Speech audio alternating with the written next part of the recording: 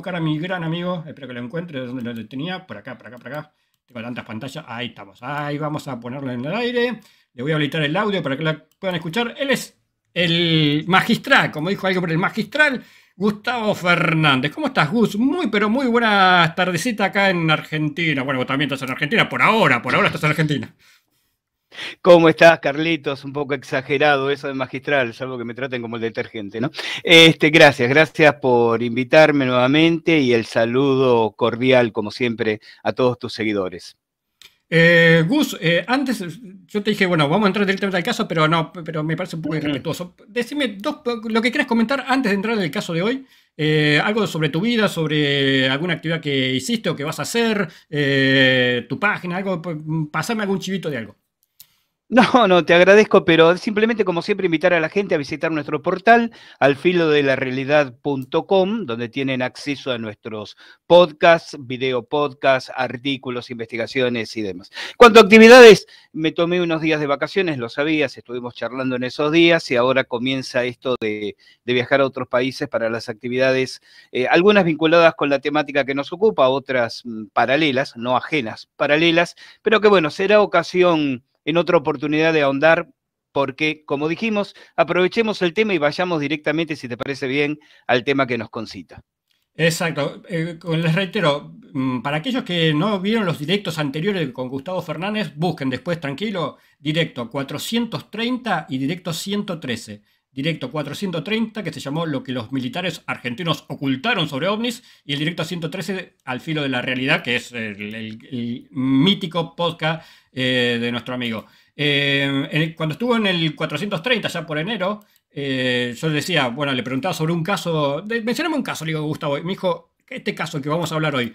y bueno, eh, que es un clásico, para mí, para mí es uno de los clásicos de la ufología argentina, poco conocido actualmente, poco conocido actualmente, por eso me parece interesante traerlo, eh, un caso del año 68, si mal no recuerdo, así que Gus, te dejo, te dejo todas las pantallas, todos los micrófonos, mientras vos hablas yo voy a poner como para acompañar una imagen que es la, miniatura que, que, que traje sobre el caso, la gráfica sobre el caso.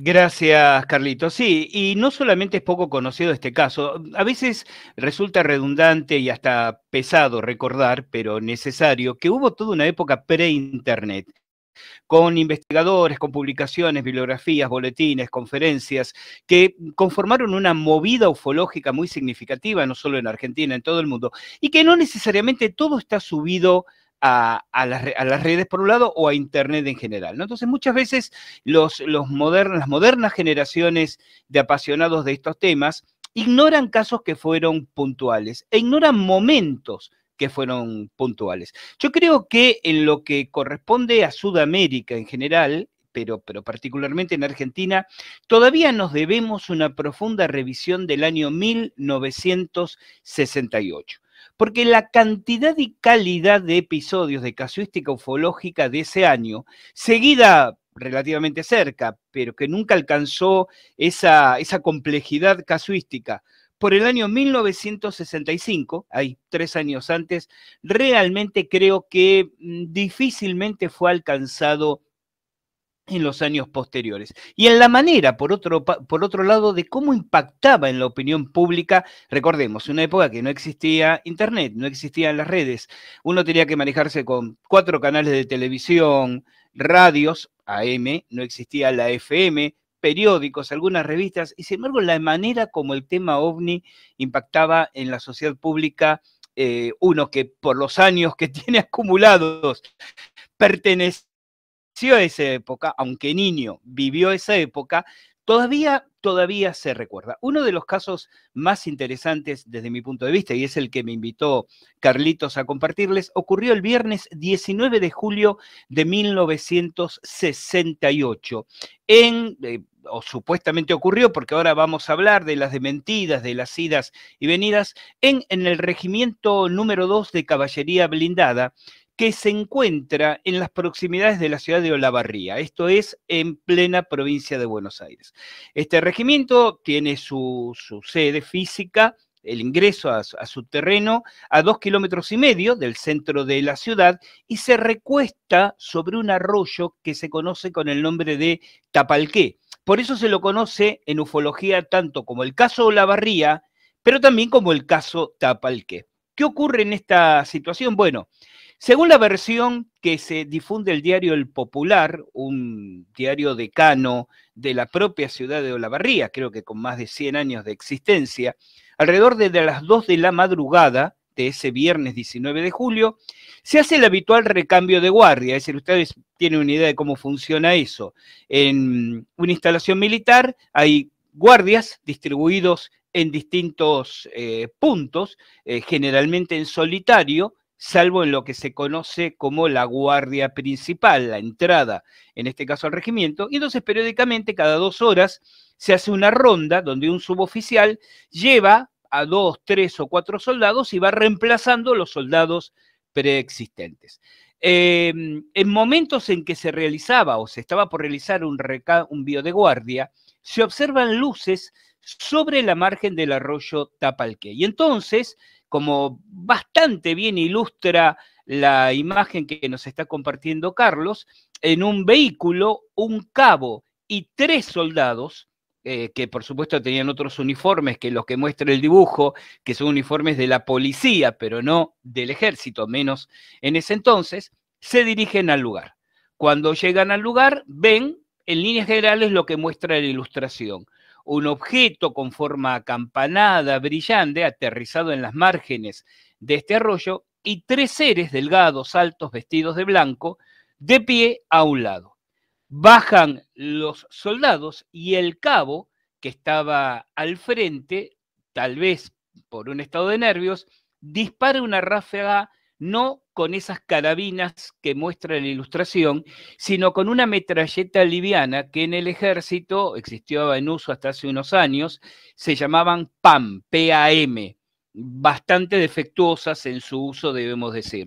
Los que nos tocó hacer el servicio militar, alguna vez este, nos tocó manipularlas en prácticas de tiro y era mejor mantenerse alejado de ellas. Bueno, el tema es que esa ráfaga de disparos no da en el blanco, y entonces dos de los tres seres levantan sus manos mostrando una especie de esfera luminosa de donde parte una, eh, valga la redundancia, una luminosidad, ¿no? Una especie de relampagueo de luz que baña a los soldados, induciéndoles una especie de parálisis. Ellos mantenían la conciencia, pueden seguir observando lo que ocurre, pero les era imposible levantar los brazos, reaccionar, ni siquiera y mucho menos darse a la fuga.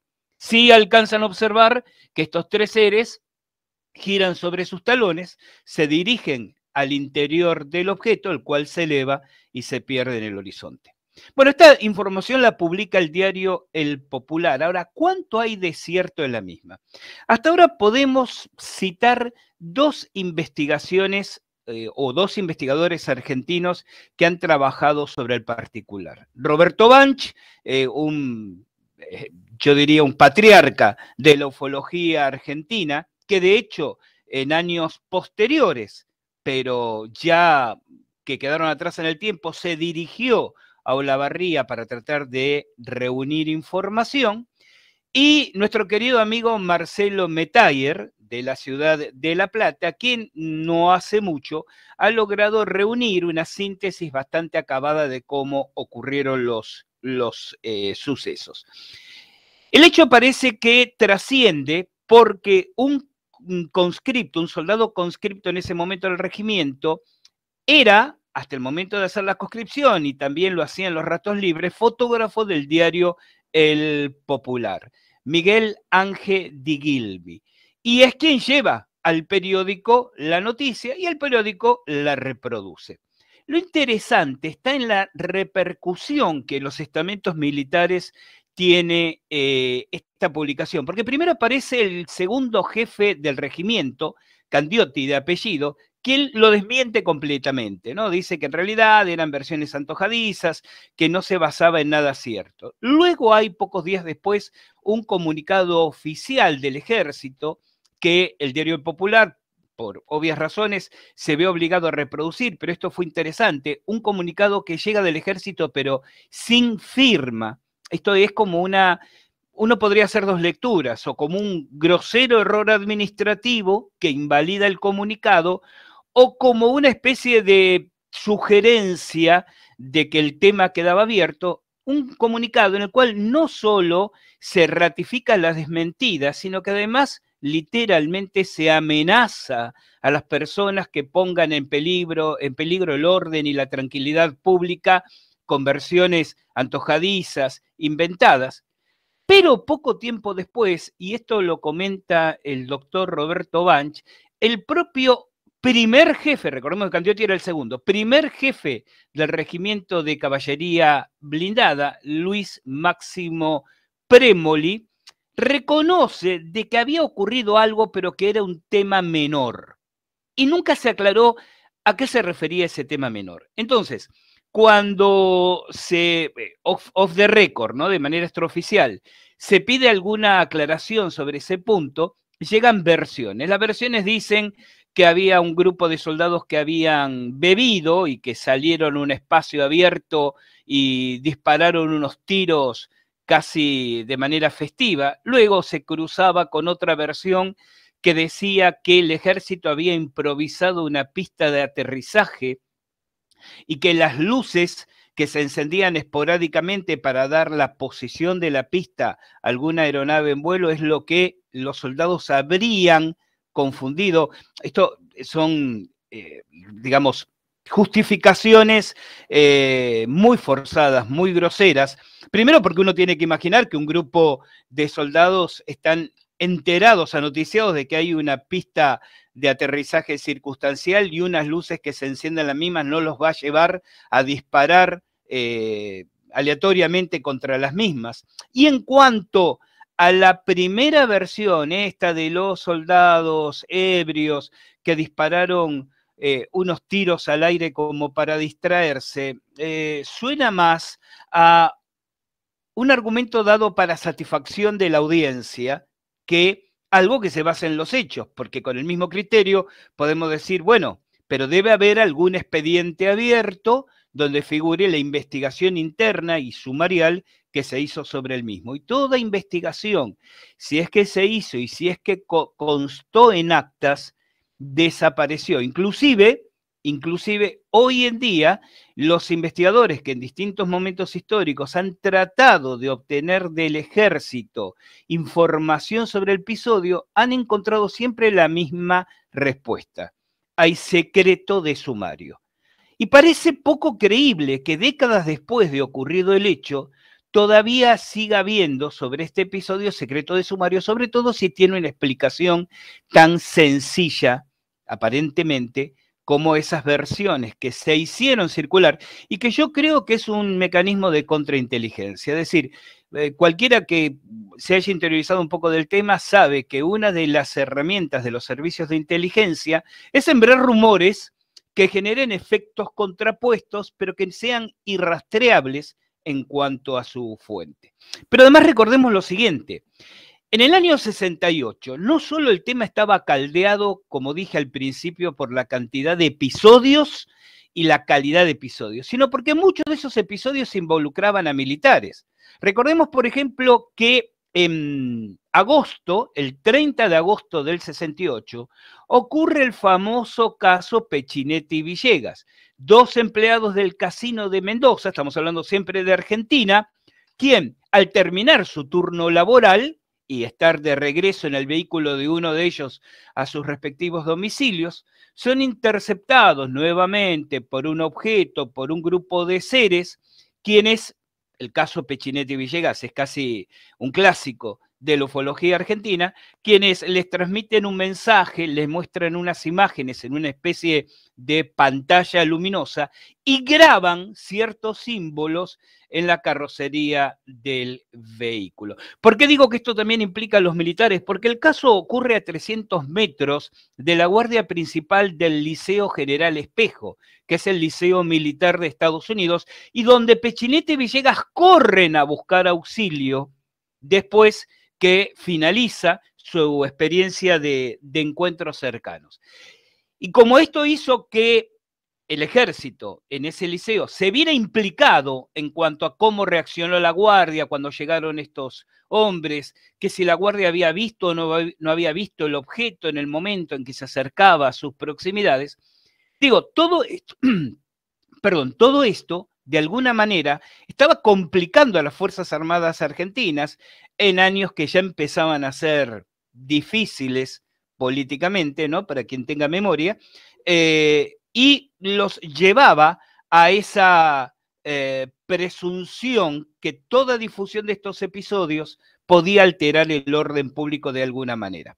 Entonces, ese año 68 hubo muchos otros episodios trascendentes. Un mes antes, en junio, también en Mendoza, eh, un obrero petrolero del rubro del petróleo, Núñez de apellido, tuvo también un encuentro cercano con entidades que le mostraban, al igual que en el caso de Pechinetti y Villegas, un mensaje en una pantalla luminosa eh, en, una, en una localidad próxima al caso de Pechinetti y Villegas. O sea, fue un año donde lugares sensibles, destilerías petrolíferas, eh, instalaciones militares, fueron visitadas por inteligencias de origen desconocido.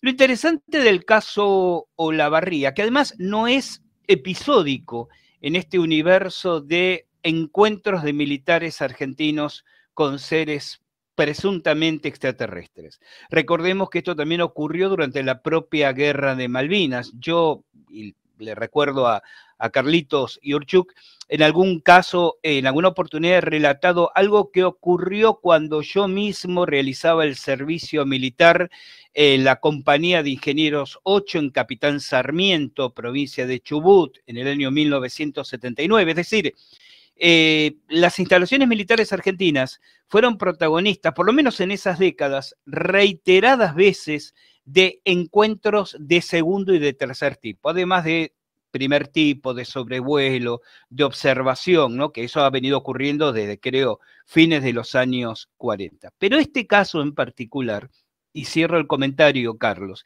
eh, yo creo que merecería todavía, han pasado 44 años, seguramente muchos de los protagonistas o de los testigos más o menos inmediatos deben seguir vivos. Eh, yo he leído publicaciones, por ejemplo, que hace años ya, ciertamente, Roberto Banch hizo de su propia investigación, esta que yo referencié, y que en los comentarios aparecen personas de Olavarría diciendo, doctor, contáctese conmigo porque yo conozco a este soldado, yo conozco al que era cabo en ese momento, yo vivía cerca del arroyo y con mi familia vimos tal cosa. Banch no, no sé si ha profundizado la investigación, no voy a ser tan atrevido a decir que no lo hizo, digo, no he encontrado nada publicado, pero sigue teniendo este episodio 44 años después muchos cabos sin atar y muchos eh, hilos de los que tirar como para que nos permitamos profundizarlo. Y por eso te decía, Carlitos, lo dijimos en aquel Demonios, y vuelvo a decirlo ahora, que el caso Lavarría o el caso Tapalqué siguen siendo, creo, uno de los que más tela nos da para cortar todavía. Espectacular. Voy a, aparecer un segundito en pantalla. Eh, no, no, increíble. Bueno, tengo, tengo, ah, aprovechando que todavía seguimos, seguimos al aire, tengo un montón de preguntas, un montón de preguntas sobre el caso y demás. Eh, primero, hasta el día de hoy no se conoce un documento oficial sobre, sobre este hecho. hay versiones que uno, un jefe dijo una cosa, después el otro dijo lo, lo contrario, pero así algún documento oficial que se sepa no hay sobre este caso, ¿no? Carlos, hasta el año 92, y no digo que después no sea, digo, después no se, no se continuó la investigación, por eso digo, habría que buscar de retomarlo. Hasta el año 92 había secreto de sumario.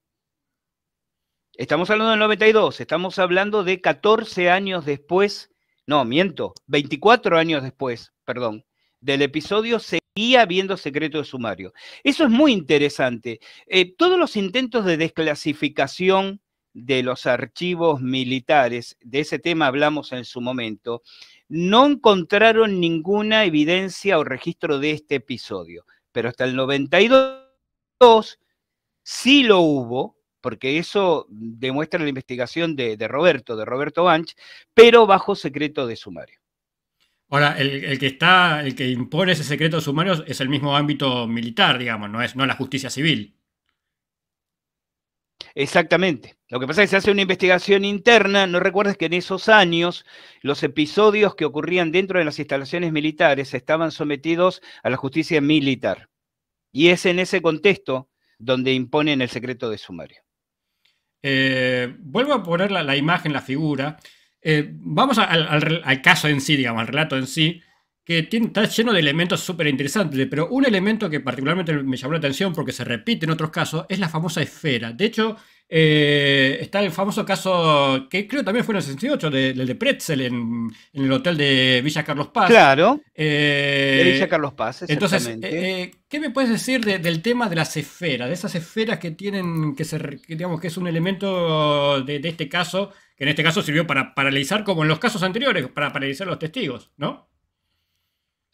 Yo no me voy a detener tanto en el aspecto tecnológico de, las esferas, porque en eso soy un completo este, lego, pero quiero hacer una observación sobre el efecto de las esferas, ese efecto paralizante que, vos bien mencionabas, porque nos, instala en, en razonar, reflexionar cuál es el mecanismo por el cual el, la inteligencia, yo, quiero ser muy, muy prudente en esto, ¿no? Vos sabés muy bien, y otros seguidores que me han escuchado en alguna ocasión también, que si bien yo no niego el origen extraterrestre de parte del fenómeno, me decanto naturalmente más para una explicación que tiene que ver con la hipótesis de la hiperrealidad o el modelo extradimensional, un poco el que exploraron Jacques Vallée, Salvador Freixedo, John Kill y otros. Esto me lleva a preguntarme si el escenario que cree ver el testigo es literalmente lo que está ocurriendo. ¿Me explico en este punto?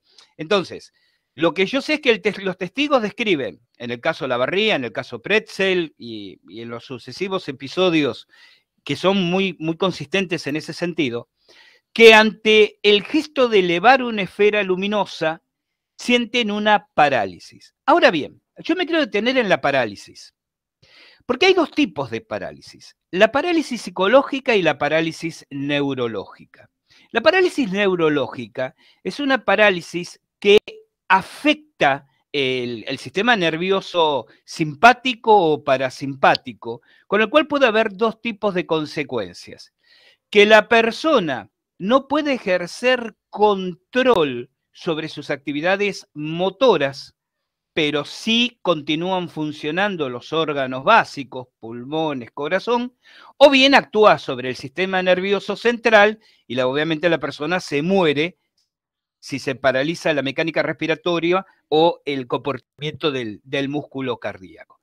Ahora, si afecta, una, si yo hablo no desde la tecnología que produciría el fenómeno, sino de la respuesta fisiológica del ser humano.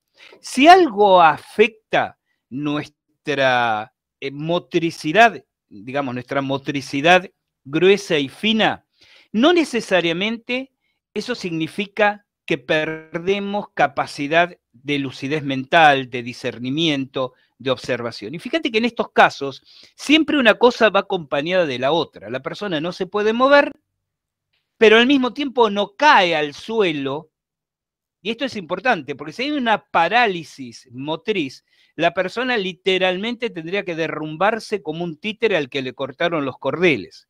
Y sin embargo, la persona sigue de pie. Quiere decir que ese tipo de parálisis es selectiva, afecta determinados órganos y no afecta a otros como este que estoy mencionando, pero siempre van acompañados de un estado de obnubilación, de pesadez mental, de gran cansancio. Es decir, siempre hay un aspecto de parálisis psicológica parcial. Siempre afectan las capacidades del discernimiento. Tiene malos aspectos de una inducción hipnótica que de un efecto mecánico sobre el cuerpo. ¿Se entiende lo que quiero decir?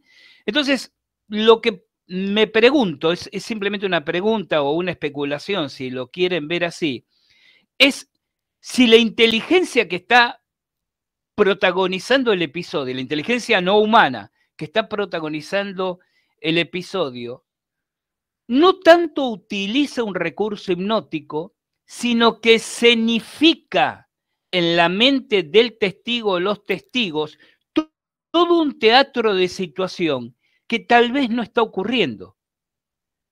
Hay muchos episodios en la ufología mundial, muchos episodios en la ufología mundial, que tienen este extraño parangón, este extraño aparecido con algunas apariciones marianas, apariciones de la Virgen. Y de ninguna manera este comentario que voy a hacer tiene connotaciones procatólicas, quizás todo lo contrario. Hay muchos relatos de personas que están observando, por ejemplo, la aparición mariana, pero los testigos que están a su lado no ven absolutamente nada. La persona vive la aparición, la persona recibe el mensaje, la persona quizás obtiene información, no vamos a entrar porque este programa no es sobre apariciones marianas, obtiene información sobre hechos a futuro, pero si nos guiamos por la descripción de los que están alrededor, nos dicen, estaba como catatónico, pero no se vio nada, no ocurrió nada, y entonces todos decimos, lo será un producto de su mente, será un juego de su imaginación. Sin embargo, desde su interior, vive la experiencia y suministra una información de que estuvo en contacto con algo. De más está decir, y no es tema en el que voy a abundar ahora, simplemente por una cuestión de respeto a ti y a la audiencia, ¿no? que no es el tema por el que se me convocó, que yo creo que en un punto muchas apariciones de ovnis y muchas apariciones marianas son la manera en que el cerebro decodifica una experiencia que ocurre en otro plano y la acomoda al paradigma de sus propias creencias y conocimientos preexistentes. Lo que digo es que en ambos casos, por eso traje a colación las apariciones marianas con esto que estoy contando del caso Olavarría, si la persona vive el, episodio bajo una influencia de tipo hipnótico, ya expliqué por qué creo que es una influencia de tipo hipnótico y no una de tipo electromagnético, eh, la parálisis, ¿no? De eso estoy hablando. No una influencia de tipo electromagnético, sino de tipo hipnótico uno puede suponer que en realidad todo lo que cree que ocurrió no ocurrió objetivamente, sino fue, vuelvo a emplear el término, una especie de teatro montado por alguna inteligencia con fines que, ¿quién puede saberlo? Vamos a especular. Un teatro montado por una inteligencia en la mente del testigo o de los testigos. Todo esto lo comento, Carlos, para llamar la atención sobre este punto. La parálisis en estos episodios no es una parálisis mecánica, no es una parálisis como por ejemplo los campos electromagnéticos muy intensos producen, sino tiene todas las características de ser parálisis de tipo hipnótico. Producido por qué o por quién y con qué fines es tema de especulación. Alberto Yacenza comenta en el chat, no es una parálisis, es un control de la voluntad, dice. Bueno, es que, es que en realidad estoy usando la explicación de la parálisis para llegar al tema del control de la voluntad por hipnosis. Eh, Marta Perales, ahora no, lo veo, pero Marta Perales había preguntado hace un ratito, eh, volviendo al caso en sí, el caso del, de, Arroyo Tapalqueo, caso de la Barría, eh, si habían recibido algún mensaje los soldados. No, los soldados por lo menos, a ver, recordemos que nunca se llega a entrevistar eh, digo, los investigadores, los periodistas, ¿no?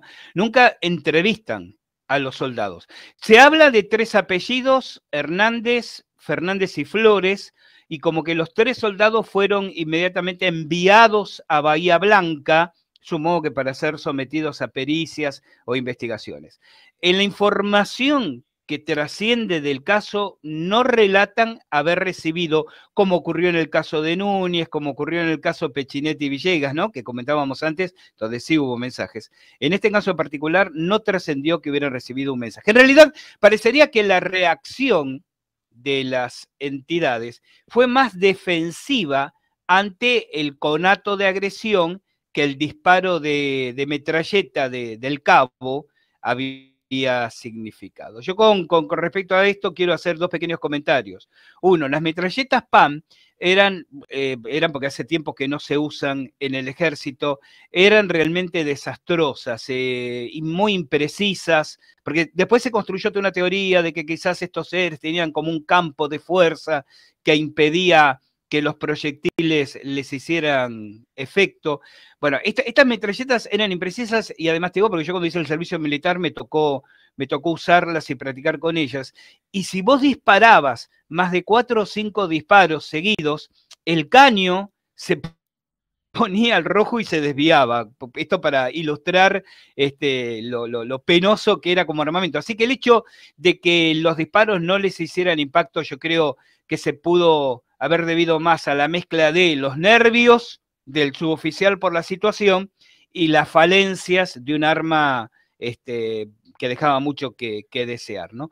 Y otro detalle interesante, eh, pocos días antes de ocurrir el hecho, creo que fue la semana anterior, si no me equivoco, de ocurrir el hecho de, de Olavarría, llegó al país el actor norteamericano Roy Things, a quien no todos, porque insisto, eh, es para los que tenemos unos años, eh, recordaremos como eh, David Vincent, el protagonista de la serie Los Invasores. Yo, es más, yo recuerdo de aquellos años haber leído en el diario La Razón que compraba mi, compraban en mi casa, ¿no? Mi, familia, la noticia de la entrevista que le hacen a su llegada a Ezeiza, la foto de este personaje, y parece que llega con un equipo de producción con la intención de tratar de registrar material, ese era el momento en que estaba en auge la famosa en aquel entonces serie Los Invasores, ¿no?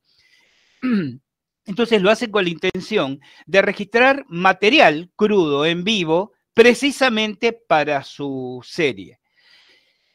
Pocos días después ocurre el caso Olavarría y lo que yo en los años posteriores, ya grandecito y dedicado a la investigación ovni, busqué y nunca encontré, es después que llegó a Argentina, ¿qué hicieron? No aparecieron, no se filmó nada, aparentemente, la serie no muestra en ningún momento en los capítulos subsiguientes material que corresponda a Argentina, no hay crónica periodística de qué tareas o qué actividades o a qué eventos asistió eh, Roy Things y su equipo cuando estuvieron en Argentina. Em, eh, me llama mucho la atención, no digo que haya ninguna relación, no, no, no tiene por qué haberla, ¿no?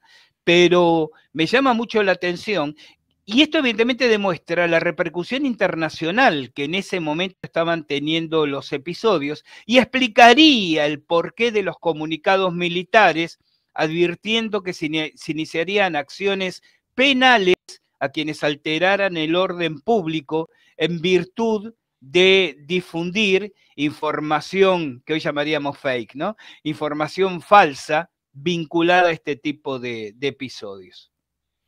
Eh, ¿qué, recuerdo de los invasores, qué gran serie. Todavía se me pone la piel de gallina cuando veo la, introducción, ¿no? Cuando eh, David Vincent, que, iba en un camino solitario y aparece la nave con ese chillido, con ese zumbido de la nave, las luces, eh, te ponía la piel de gallina. Una serie increíble, muy buena serie, que la pueden buscar en YouTube, seguramente de estar los capítulos por ahí dando vuelta.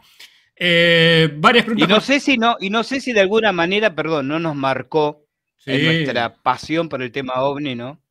Sí, no, no, no, no. vean, vean, vean los invasores. Busquen, busquen en YouTube. No sé dónde puede estar, pero debe estar en algún lugar. Eh, vean los invasores, vean esa serie, estuvo increíble. Eh, nada, no tiene nada que envidiarle a las series de décadas posteriores. Es una serie increíble.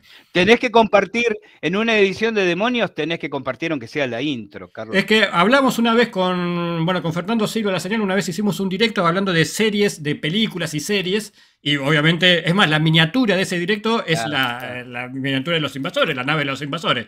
Eh, búsquenlo por ahí acá, este, no me acuerdo cómo se llama ese directo, pero busquen por ahí que van a encontrar la, ese directo estuvo increíble. Pero sí, habría que, habría que dedicarle todo un directo a los Y vos sabés, y Carlos, vos sabés, creo que vos conocés, porque si no me equivoco, lo publicaste en algún número del Dragón Invisible. Mirá a dónde me estoy remontando. Un artículo que yo escribí sobre lo que pasó con la maqueta con la que filmaban la serie.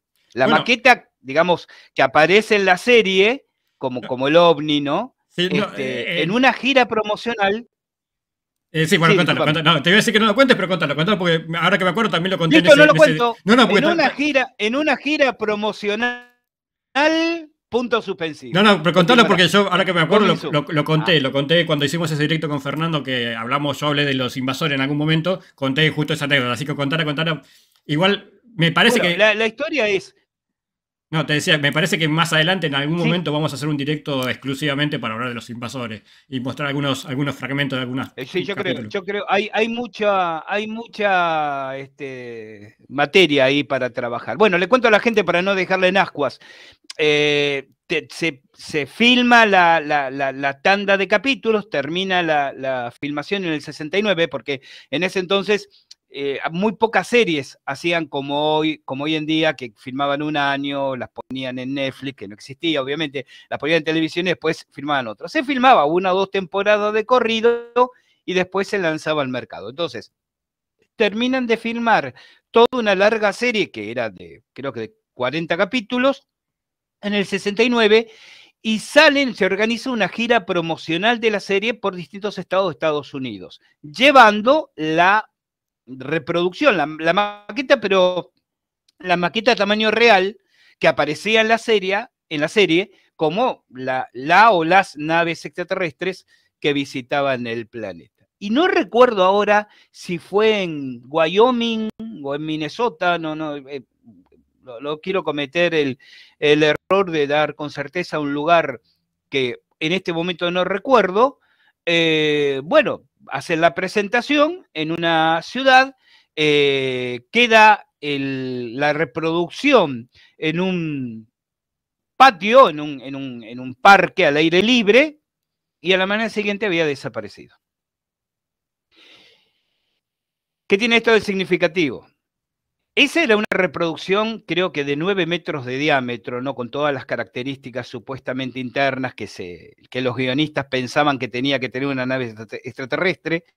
Digo, suponer que fue robada por una productora eh, competidora o por un grupo de pandilleros, es, es, irracional. Es irracional suponer que pudieron haberlo desarmado en una noche, transportado en una noche, fuera de la vista de, de ocasionales transeúntes o, guardias que podían moverse, literalmente de un momento para otro desapareció. Entonces hay como una teoría que circula en ciertos ambientes ufológicos que dice que tal vez esta reproducción, que parecía tal vez ser demasiado realista, fue literalmente abducida por extraterrestres como para evaluarla y mirar qué es lo que nosotros creíamos este, saber de ellos. Esta interpretación tal vez sea antojadiza, es una interpretación que, como dije, circuló en ambientes ufológicos. El hecho cierto es que la reproducción desapareció en medio de la noche. Eh, Lorena Sierrata del Café. En Las Vegas. Ahí, ahí estamos, ahí Blacky nos aclara que fue en Las Vegas la desaparición. Ah, ah bien. Eh, Lorena Serrata comentaba más arriba en el chat que, bueno, del Café Ufológico Rosario, que ella consigue los testigos, no sé cómo hace, pero consigue testigos de un montón de casos. Lo, consigue a Dionisio Yanka, no sé cómo hizo, pero consigue a Dionisio Yanka, que ahora quiere conseguir, ahora se enganchó con el caso este de que estamos hablando hoy. Entonces quiere, obviamente va a empezar a buscar a los testigos. Vos mencionaste unos, unos apellidos de los soldados. ¿Esos apellidos son ficticios? ¿Son los supuestamente los apellidos reales? No lo sé. No lo sé. Sí, le puedo facilitar a Lorena, que desde ya le envío un, fuerte abrazo, le puedo facilitar, tengo un par de datos de gente de Olavarría que dice conocer, o por lo menos en ese momento haber conocido directamente a los implicados y tengo un par de correos electrónicos que les puedo facilitar pero no lo sé más. Yo te decía cuando me preguntaste este caso en su momento, este es uno de los casos de los que yo me debo una investigación en profundidad. En general, lo sabes bien, Carlos, soy bastante reacio a hablar de episodios que yo no he investigado en forma más o menos directa, pero este en particular es uno de los que tengo como asignatura pendiente y que merecería un tratamiento más profundo. Buenísimo, buenísimo. Así que eh, vos, Gus, o cualquiera que pueda aportar algún dato sobre este caso, comuníquese con Lorena, así pásenle cualquier dato que ella después, no sé cómo hace, encuentra a los testigos y seguramente después de, encontrar a los testigos de este caso va a buscar la nave de, los invasores, va a ver quién, va a buscar quién se, quién se robó la nave de los invasores.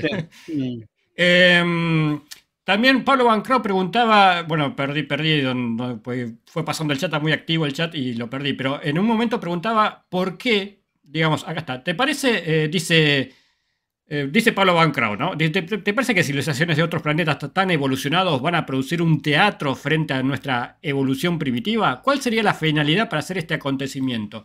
Y yo te amplío, Gus. ¿Por qué? ¿Por qué se monta este...? Pues yo también coincido con mucho con lo que vos decís, comparto mucho lo que vos decís. Eh, ¿Por qué a veces da la sensación que todo es una puesta en escena? En muchos casos vos decís, está absurdo lo que pasa. Entonces vos decís, esto es una puesta en escena. ¿Para qué? ¿Por qué? ¿Cuál es tu reflexión? Obviamente no, no, te pido una respuesta concreta porque creo que nadie la sabe, pero ¿cuál es tu reflexión? ¿De por qué? Eh, lo mío es el mejor de los casos, es una humilde especulación. Yo al comentario de Pablo, a quien también colega investigador, saludamos, le, haría mi siguiente observación personal. Eh, Pablo parte de su propio sesgo de aceptación cuando dice, ¿te parece que civilizaciones más avanzadas de otro planeta, etcétera, etcétera, etcétera? Y eso es una petición de principio. Se comprende en qué filosofía se llama así, es decir, si yo acepto esa petición de principio, civilizaciones avanzadas de otro planeta, entonces pero el, tema es que yo no tengo por qué estar de acuerdo con esa petición de principio. nuevamente, nuevamente, a ver, aclaro por si oscurece, como decía el gaucho. Yo no estoy negando que episódicamente civilizaciones avanzadas de otros planetas visiten. No lo estoy negando. Lo que digo es que la complejidad del fenómeno ovni, porque a ver, el, el fenómeno ovni es una gran bolsa donde metemos todo lo que no podemos entender para que cada uno le aplique después su propio sesgo de creencias. Pero la interpretación del fenómeno. Yo te puedo robar un minutito con este concepto. Todo, todo, todo, todo, el tiempo que quieras. Sí, porque no quiero que, mi, idea quede, quede a mitad de camino. A ver, lo voy a citar con un ejemplo que en el cual yo soy recurrente en charlas, en, en entrevistas, donde digo, estoy parado en el campo una noche, veo una luz en el cielo con comportamiento extraño, ¿no? Aparentemente inteligente, digo, oh, un ovni, seguramente una nave extraterrestre. Otra noche estoy parado en un cementerio y veo una luz con comportamiento extraño entre las tumbas y digo, oh, un fantasma, seguramente un espíritu. Y en ambos casos, de lo único que puedo estar seguro es que vi una luz extraña con comportamiento aparentemente inteligente. La explicación, la causa, nave extraterrestre, espíritu, es lo que mi sesgo de creencia interpreta del marco en que aparece el fenómeno. Cuando investigamos ovni, y esto vos, Lorena, Pablo y la gente que nos sigue lo sabe bien, nosotros estamos investigando en todo caso lo que no es, no lo que es. O sea, decimos, no es un avión, no es un globo sonda, no es un satélite, no es un fraude, no es, no es, no es, es un ovni. Pero en sí, hablar de ovni no implica que por carácter transitivo sea una nave extraterrestre.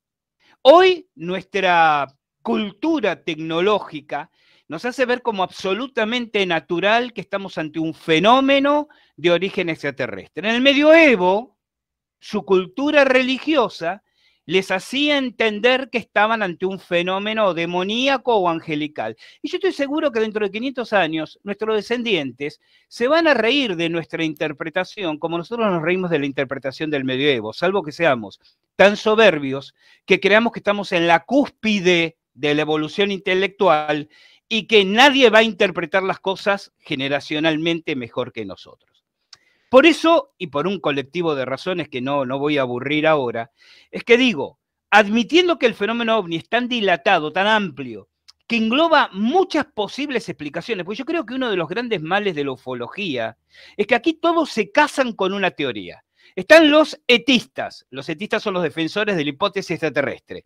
Están los que sostienen que son, no sé, eh, naves que vienen de la Tierra hueca, los que dicen que vienen de otra dimensión, los que son viajeros en el tiempo.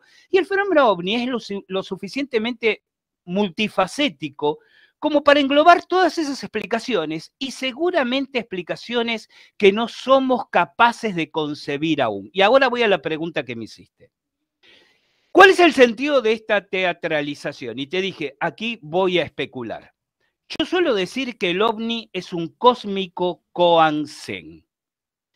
Y si alguno de los seguidores no tiene muy claro qué es un koan, le diré que en el Zen, en el budismo Zen, pero el Zen no es solo budismo Zen, hay distintas formas de camino, porque eso significa el Zen. El koan es algo que somete a tu intelecto a un estrés para que se, se provoque una disrupción y te permita percibir un orden trascendente de realidad.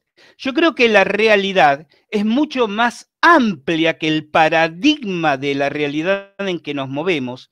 Y entonces una inteligencia o múltiples inteligencias construyen un teatro que sea digerible y asimilable por nuestra instancia evolutiva para acompañarnos o dirigirnos o manipularnos, aquí cada uno que crea lo que quiere, en el siguiente paso de evolución colectiva que vamos a realizar.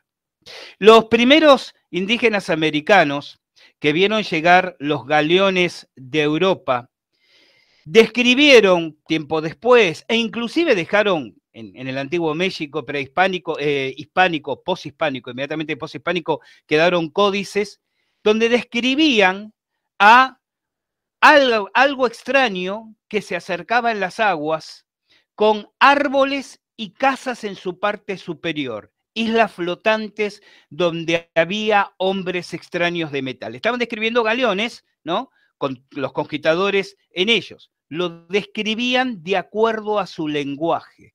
Y recordá, Carlos, algún caso que creo haber comentado en el programa anterior, donde en un mismo episodio, visto por un ingeniero agrónomo y por una señora buenísima pero analfabeta de campo, son descriptos, ambos ven el fenómeno, el fenómeno es real, el fenómeno deja evidencias físicas, pero ambos describen dos cosas distintas. El ingeniero agrónomo, el aterrizaje de una nave espacial, la, la señora que vivía en el campo la aparición de la Virgen María.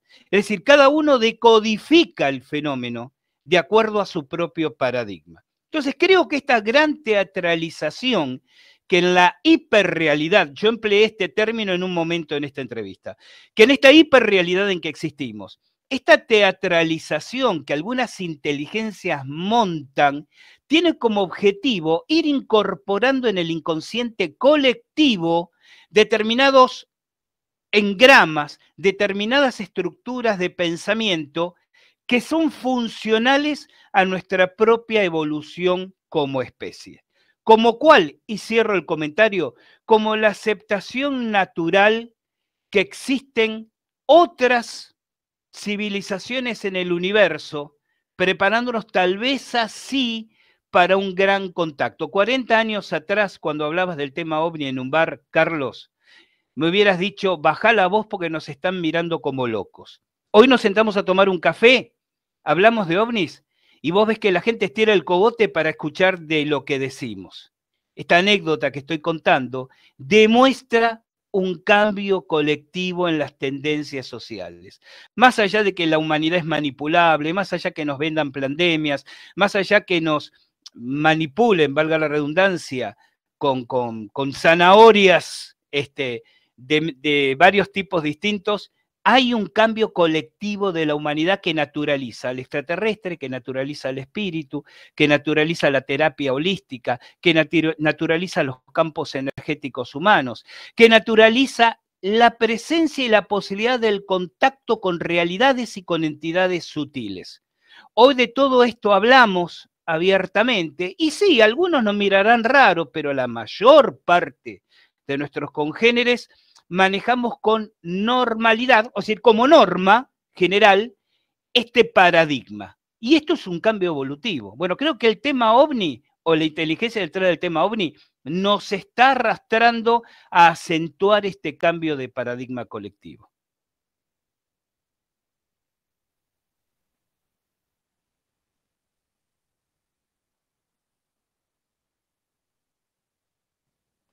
No te estoy escuchando. Ah, perdón, perdón, tenía, no, tenía, el micrófono muteado. Eh, como no te decía, este, un placer escucharte, la verdad, un placer escucharte.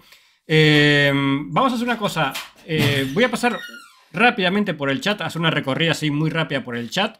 y después regresamos ya para hacer el, cierre. Estaría horas, horas escuchándote como, como cuando escucho el podcast al filo de la, realidad.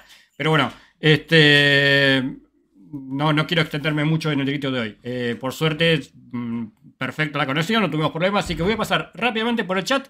Leo algunos comentarios ahí muy por arriba para, para saludar a la gente y cuando regresemos, eh, anda preparándote el cierre. Eh. Obviamente nos, vas a dejar tu, la forma de contactarte, de seguirte en la, por las páginas, en las redes, todo lo que sea, y alguna reflexión final. y bueno, así que nada, te voy a sacar un segundito del aire para que descanses también un segundo. Te voy a mutear, ya estás muteado, así que puedes descansar unos segundos. Eh, paso rápida, muy rápidamente por el chat. vamos a, interactuar con este chat como me pide el OBS. Y Mm, voy a ir a donde me quedé, si, encuentro dónde me quedé, pero no sé dónde me quedé, pero bueno. Eh, mucha, mucha gente en el chat. Eh, a ver, vamos a... Eh, denme un segundito. Eh, bueno, vamos a arrancar acá. Eh, dice Marcelo Metalla, que recién lo mencionaba, bueno, hoy más temprano lo mencionaba Gustavo. Eh, Marcelo Metalla está en el chat. Dice: Qué lindo ver a dos amigos juntos en pantalla y ver tantos amigos acá en el chat. Abrazo. Y después más abajo agradece por, la mención. está Marta Perales, Hernán Durán, Fran Joe desde Rosario, Mario Fortu Martín, uno de nuestros moderadores que lo tuve, lo pude conocer en el Congreso de Victoria. lo pude conocer a Fortu Martín en, vivo y en directo en el Congreso de Victoria. Es real, es de carne y hueso, Fortu. No es una, no una, aparición o una puesta en escena o una manipulación mental. No, Fortu existe, de carne y hueso, y estuve ahí con, con Fortu. Este, llevó un agua mineral saborizada, no, que estuvo increíble. Eh, todo lo que probó esa agua mineral que llevó Fortu estuvo increíble. Digo RP, eh, siempre aparece en las esferas, dice Diego RP. Eh, Irene Crosacto Para dice: Hola, hola, hola. bueno, acá Marcelo Metella agradecía por la mención y mandaba un corazón grandote. Patricia Paz, muy buenas noches a los demonios. Super López Anacleto de España. Mauricio Mandara, también hay presente Alfonso Recinzo. ¿Se sabe el porcentaje de estos casos? ¿Quién atacó o agredió primero? Eh, Marcos Mori, buenas noches, demonios desde Santa Cruz, mi amigo Marcos Mori, que hasta hace meses vivía en La Plata y tuvo la ingenial idea de irse a vivir a la Patagonia. Lo mejor que hizo, y eh, que lo envidio por haberse ido a vivir a la Patagonia. Este, después, eh, Fato Wilson, hola, vuelta, te mando saludos de zona norte. Bueno, se están saludando entre ellos. Alberto Yacenza, que te está dejando muchos comentarios, Alberto Yacenza. Bueno, Lorena Cerreta, que fue, fue Rosario. Em, Han Solo, que lo había conocido, que lo conocí personalmente también eh, acá en La Plata el sábado. Eh, Carlos Bravo, saludos desde España. Milton Blanco, ya lo había mencionado. Eh, Rubén Skywatcher desde España, saludando, saludando a Abel Gordillo Puerto también, saludando desde España. Mucha gente de España, ¿eh? Mucha gente de España. Es que, es que Gustavo tiene muchos seguidores en España bueno, me contó un pajarito que, no sé, creo que va a andar por allá dentro de poco, pero bueno, es otro tema. El origen presente, buenas tardes, Damián, dice, eh, se están saludando entre ellos, se conocen todo, vino toda la banda ahí de, que siga a, Gustavo. Eh, Diego Jaime, buenas noches, demonios. Eh, a ver, a ver, a ver. Mm, bueno, salteo, salteo, salteo. Eh, bueno, muchos hablando de la serie de los invasores. Bueno, el dedo meñique, como dice. Y no se olviden del dedo, del dedo meñique, dice Alberto Yacenza, por supuesto. el clásico, el elemento clásico de los invasores, el dedo meñique. Eh, ¿Qué es el dedo meñique? Bueno, vean la serie, busquen en YouTube la serie. Que dice Hernán Durán, genial los invasores, lo estoy viendo, hay capítulos en YouTube. Bueno, busquen, busquen la serie en YouTube y se van a dar cuenta porque el dedo meñique. Eh, Dice Super López Anacleto, me da la impresión que el universo y la vida es como un simulador muy grande creado por unas inteligencias a modo experimental, interactuando con él cuando quieren y tomando el control de eventos. ¿eh? Vivimos dentro de una Matrix o algo así, supongo yo. Eh, Blackie Guzman dice, eh, fue en Las Vegas, bueno, eh, decía que era en Las Vegas, pero después alguien aclara dónde fue. a ver, bueno, salteo, salteo, Mario Triviño. Dice Mario Raúl Triviño, la puesta en escena puede ser porque ellos juegan con nosotros como lo proponía Salvador Freicedo. ¿eh? Héctor Luis Fonseca, no creo que estos fenómenos se reduzcan a aspectos mentales o bioquímicos del organismo. Eh, recordemos que ante estos fenómenos muchos animales reaccionan con miedo. Eh, Guillermo Funes, buenas noches, saludos desde el Café Ufológico Volcán de San Luis, gracias, gracias Guillermo. Como no recordar la serie que nos inspiró a varios en este tema y recordar el dedo meñique, también menciona el dedo meñique para identificar los extraterrestres. Sí, sí, el dedo meñique es un clásico. bueno, salteo, salteo, salteo, salteo, salteo. salteo. Eh, evidencia ovni. Eh, dice evidencia ovni, dice que es medio escéptico, parece. A mí no me demuestran nada avanzado, solo que nos estamos Eh, solo que no estamos en su agenda. La tecnología es la que tenemos nosotros, solo que los científicos no dan con el mercado. ¿Por qué mandan la plata acá? Bueno, no sé. Me perdí. Eh, Verónica Muñoz dice, por Dios, excelente explicación. Saludos, buenísimo el programa al filo. Saludos, gracias Verónica Muñoz desde Rosario. Eh, Diego Suárez, tal cual, mi pasión por el tema de voz inició a temprana edad, tipo 8 años, viendo la serie Los Invasores. Era totalmente impresionante para la época. Para la época y te diría para ahora, ¿eh? O sea, si vos la ves ahora está bien. obviamente es una serie de la década del 60. No, no, no vas a ver la, la, digamos, los efectos especiales de hoy, pero está buena, está muy buena y te digo que, es más, creo que me, es más realista, es más realista. Eh, hoy en día la, la, serie con tantos efectos especiales y CGI toda esa cosa, eh, ya viste, se van al otro extremo. en cambio, Los Invasores era más realista, más simple, más realista. Eh, es como que te podía pasar a vos, digamos, lo que estaba pasando en la serie. Alexis Morales, por una luz, hasta un Dice Alexis Morales, por una luz hasta un ovni tiene un sesgo, porque si es una luz, ¿por qué llamarlo objeto? De ahí el nombre Fanny. Em, coincido, muchos, muchos vemos, como decía, como es algo que coincido. Muchos ven luces, entonces ya le ponen, detrás de la luz ya ponen una nave y detrás de la nave ponen un ser inteligente que la está tripulando, pero en realidad lo que estás viendo es una luz, pero bueno, eso es otro tema.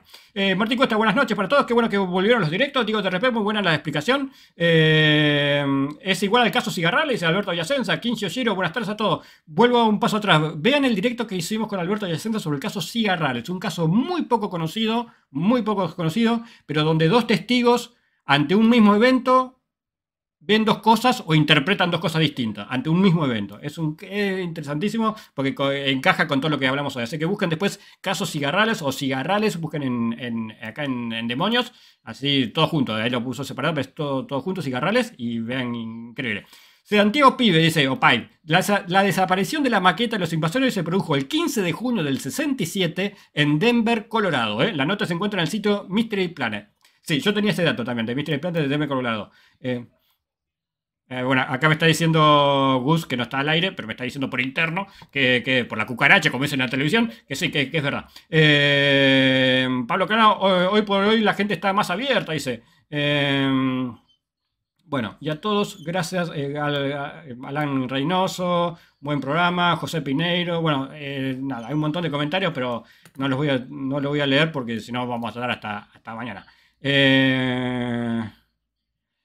Eh, bueno, no sé qué están hablando del papel higiénico, eso no lo entendí, cierto, dice Marta Perales. Nunca entendí para qué tanto papel higiénico, no sé, debe ser algún comentario anterior que me perdí. Bueno, habrá que ver qué, estarán hablando. Eh, ah, dice Quincio ahí entiendo el papel higiénico, no sé qué viene, pero dice. Quincio dice, por ejemplo, ¿cómo reaccionó la gente en la pandemia? Mucha gente fue a comprar papel higiénico. Este, bueno, el tema de la pandemia y cómo no, quiero decir nos manipularon, pero cómo, cómo se puede manejar al mundo entero a través de la, de más media y todas esas cosas, es para un análisis también, para una reflexión. Bueno, eh, me voy del chat, me voy del chat. Eh, no voy a pasar avisos parroquiales para no perder más tiempo, pero semana intensa. ¿eh? Mañana, hoy, hoy como anduvo todo bien, mañana voy a hacer el directo que tenía pensado mañana. y después, bueno, seguimos los delitos normales y el viernes a las 22 la edición de bueno, de mayo, que va a estar en junio, del Café Ufológico Rosario, ¿eh? que iba a ser el viernes pasado, pero que, como todos los directos lo pasamos para, esta semana. Así que bueno, vuelvo, vuelvo con, nuestro invitado, con Gustavo Fernández, porque está ahí ansioso, quería hacer algunos comentarios sobre los comentarios. Eh, Gus, eh, primero, ¿algún comentario si quieres hacer de lo que se está comentando en el chat, digamos? Anda bien tu telepatía, Carlitos, porque estaba tomando nota de varias cositas que quería acotar y que rápidamente comparto. Bueno, respecto a lo que comentabas de, seguidores en España, sí, sí, realmente, no, no yo, sino al filo de la realidad, tiene muchísimos, muchísimos seguidores en España. Yo me estoy yendo el 9 de junio o sea, el jueves de la semana que viene, para hacer unas actividades de difusión vinculadas a dos grandes pasiones mías, que es la parapsicología y las sabidurías ancestrales. Y también para retomar una investigación que ya inicié antes de la pandemia por allá, que es mm, con lo que llamamos el Centro Energético de Montserrat. O sea, voy a estar en Barcelona, en Huesca, y en Islas Canarias haciendo actividades y cuando esté en Barcelona voy a aprovechar para investigar, siempre aprovecho los viajes para llevar adelante alguna investigación de campo y con lo que allí se conoce como el portal de este, Montserrat. Quiero hacer varias observaciones sobre algunos comentarios. Em, una aclaración a, Pablo, sí, sí, ciertamente, Pablo aclara que él no habló de extraterrestres. Yo no había leído tu chat, me llega ese comentario, Pablito, como que te habías referido a civilizaciones de otros planetas, ¿no? Y es verdad, es todo un tema que tendríamos que los ufólogos reunirnos a debatir seriamente, interpretar, interpretar perdón, el teatro de apariciones. Es algo que no estamos haciendo. Uno de los oyentes, no recuerdo el nick, dice, los militares usan la expresión secreto de sumario, la justicia militar. No los militares en general. Interviene en este tipo de episodios siempre, interviene la justicia militar. Y la justicia militar se maneja con la misma terminología que adivinemos, la justicia civil. Entre ellos expresiones como secreto de sumario. Le mando un saludo a Fortu, que no sabía que estaba aquí. Vos sabés que yo no lo conozco personalmente, pero es un grande, este tipo realmente es genial. Este, me, ha hecho reír tantas veces y se me ha hecho reflexionar más eh, veces. Em, en un momento determinado, eh, Fonseca, creo recordar el final de su nombre, no recuerdo el nombre, perdón, Héctor Luis, Héctor Luis Fonseca, dice, bueno, no, pero estamos ante fenómenos físicos.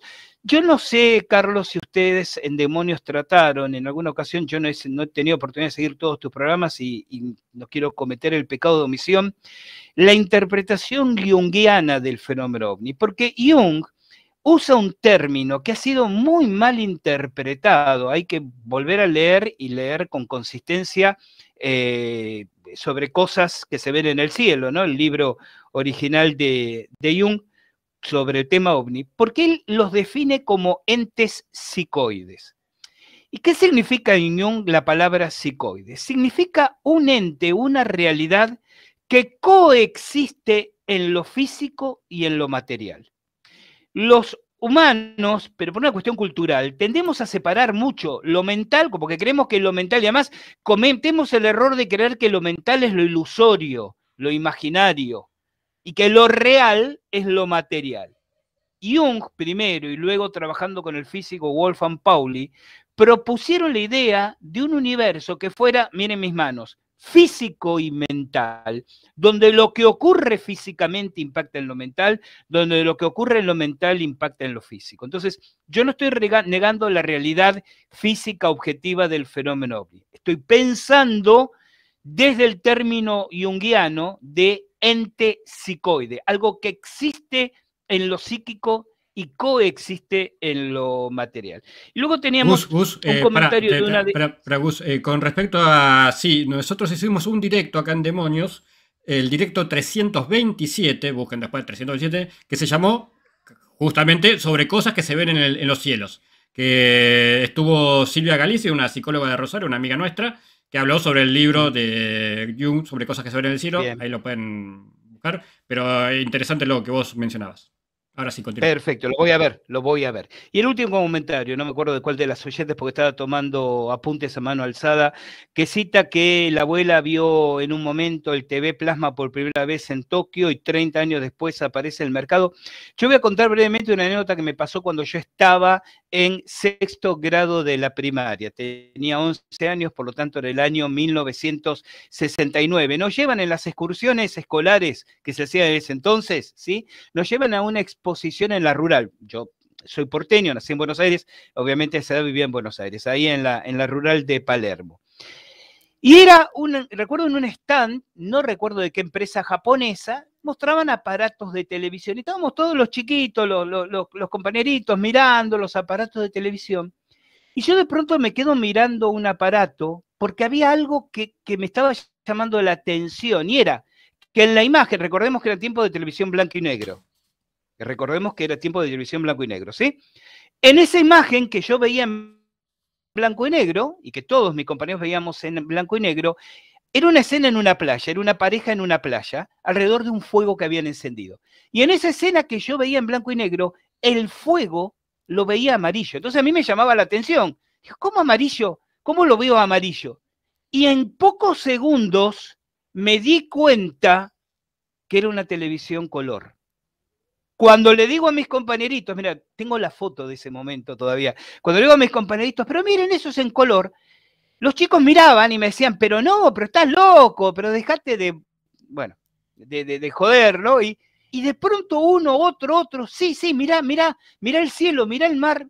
Lo que digo es, cómo cuando la mente está normatizada a percibir la realidad de una manera, aunque te presenten una realidad alterna, necesitas un tiempo de adaptación. Si una tontería como una pantalla color, un televisor color, y, no porque yo sea más perceptivo que los demás, simplemente que me detuve más tiempo a observarla. Necesitamos varios minutos para que todo el grupito viéramos que era color, porque quiere decir que lo estábamos viendo como estábamos acostumbrados, blanco y negro. Siempre me quedó esa anécdota para decir cuánta, cuánto de la realidad que nos, que nos rodea la estamos percibiendo, para seguir con la metáfora, la estamos percibiendo blanco y negro cuando en realidad es a color.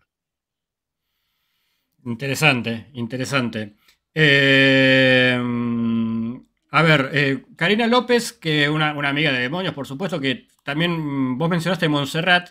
Eh, Karina López creo que conoce Montserrat, dice Montserrat, que se pare en Montserrat, dice Karina López, que se pare en el centro de la plaza y si tiene aparatos que mida o se conecte en ese lugar. Entiendo que se refiere, a ver, Karina, te referís a la iglesia, o sea, la catedral que está en el monasterio benedictino, porque tiene un atrio muy interesante con un mosaico en el suelo terriblemente esotérico. Y sí, eh, te invito, Karina, que vayas a nuestro portal, pongas Montserrat y te va a aparecer la primera parte de nuestra investigación radiestésica hecha en ese lugar. ¿Cuántos temas hay para hablar con vos? Eh? ¿Cuántos temas para hablar con vos? Eh? Eh, algún día acá en Montserrat, nunca hablamos específicamente de Montserrat, no hicimos un directo sobre esto, pero se mencionó muchas veces. Tenemos muchos amigos invitados españoles que por algún otro tema siempre aparece Montserrat de alguna otra forma. ¿Cómo puede ser la gente? Es un lugar muy especial. Es, sí.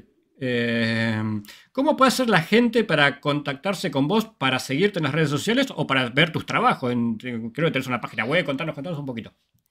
Nosotros tenemos nuestro portal en internet, este www.alfilodelarealidad.com, no .com.ar, .com, simplemente. Y desde ahí pueden entrar a nuestro Facebook, a nuestro Twitter, a nuestro Instagram, a nuestro canal en YouTube. ¿eh? Me pueden seguir a mí a título personal en las redes, estoy como Gustavo Fernández, obviamente. En Instagram como arroba Gustavo Fernández Oficial y en Twitter como arroba Gus Fernández, 19, eh, Gus Fernández 58. Perdón. Eh, pero Vayan a nuestro, no se complique, vayan a nuestro portal, al filo de la y ahí tienen todas las opciones de seguirnos en redes como deseen al filo de la realidad.com. Anda pensando ya una reflexión final, que ahora te doy en, un, en 30 segundos, te, digo para que hagas el cierre con la reflexión final. Un saludo a Hugo Doria, que está ahí en el chat, muy buen programa, escuchando atentamente, interesantes reflexiones, Hugo Doria. Amanda Calvo, muy buena reflexión. Como en la pandemia y el papel higiénico, eso se ve que se enganchó con el tema. Algún día también, no, hoy, pero algún día también me gustaría, no sé si hacer un programa, pero alguna reflexión tuya, porque vos me, encanta cómo reflexionás, tu, tu lo que pensás, tus puntos de vista sobre todo este tema de, la famosa pandemia. Digamos. No estoy diciendo que sea una pandemia, pero bueno, como siempre me interesó mucho ver cómo se puede condicionar no solamente a un grupito de gente, a todo el mundo, eh, a través de, los medios y demás, de las redes y todas esas cosas, digamos, ¿no? Más allá que, que sea un origen cierto o no el tema del virus y demás, eh, aún siendo, siendo cierto, lo que más me interesa no es tanto el tema del virus, sino el tema de cómo se condicionó, se encerró todo a, todo, a todo el planeta, digamos, ¿no? Y con las consecuencias que eso implica, digamos, ¿no? Eh, incluyendo lo económico. Eh, nada, algún día me gustaría escuchar alguna, alguna opinión tuya sobre, o reflexión tuya sobre, sobre esto, digamos, ¿no? Así que, bueno, eh, a todos los, eh, ya te dejo todo, Gus, para que hagas la reflexión final. Eh, a todos los espero mañana, mañana martes, si la tecnología acompaña, este, porque hasta el miércoles en teoría no se arregla todo esto. Así que si el mañana martes lo espero a las 7 de la tarde, como siempre, vamos a hacer algún directo. Y bueno, Gus, gracias, gracias por estar esta noche acá en Demonios. Te dejo, te dejo todas las cámaras, todos los micrófonos, para que digas todo lo que quieras decir y después ni bien terminas de hablar, tomate todo el tiempo que quieras, no, hay problema con el tiempo, y mientras terminas de hablar, manda automáticamente la placa de cierre. No, quiero ser breve. En primer lugar, agradecerte enormemente, Carlos, tu, calidez, tu, tu, proactividad, el hecho de considerar de algún interés mi punto de vista, a toda la gente linda que nos está siguiendo hoy, eh, también a toda la gente conocida, amiga, este, un placer realmente haber aportado algo y nada, nada rimbombante ni majestuoso para decir de cierre. Solo proponer que me parece que la ufología, más que empecinarnos en construir respuestas, tenemos que dedicarnos a formular mejores preguntas. Solo eso. Gracias. Que estén bien y buena vida.